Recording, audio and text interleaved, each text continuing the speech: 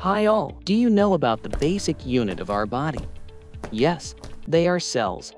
Cells are the smallest functional and structural units of living organisms.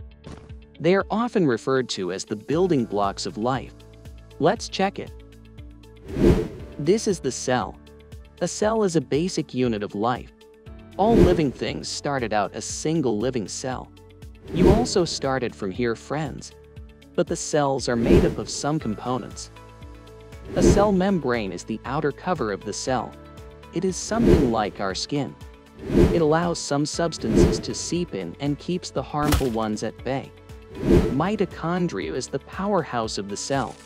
It provides all the energy the cells needs. When we eat food, the digested part of the food reacts with oxygen and mitochondria to create energy for that cell. The ribosomes are very important as they make proteins.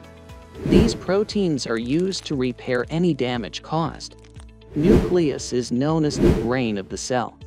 If we look inside the nucleus, we will find some chromosomes that carry out the instructions of the nucleus of the cells.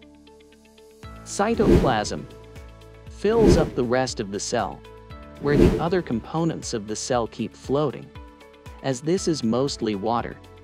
The lysosomes are known as the trash can. They will get rid of the waste material and other unwanted substances in the cell. I hope you got an idea about the cells. Do you know who invented the cells? The cells was first discovered by the scientist called Robert Hooke. Thank you for watching.